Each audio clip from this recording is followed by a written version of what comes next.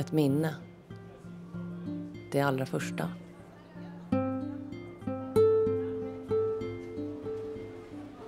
Det var sommar och jag hade åkt till Paris för att något skulle hända. Något, vad som helst, som var bättre än hemma.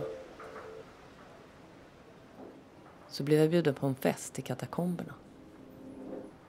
Alltså i de stängda tunnlarna under Paris. Jag minns att vi klättrade ner i ett hål i marken under en bro.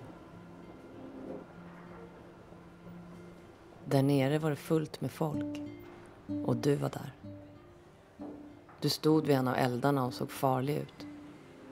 Som att du kunde få saker att hända. Jag ställde mig bredvid dig och låtsades värma mina händer.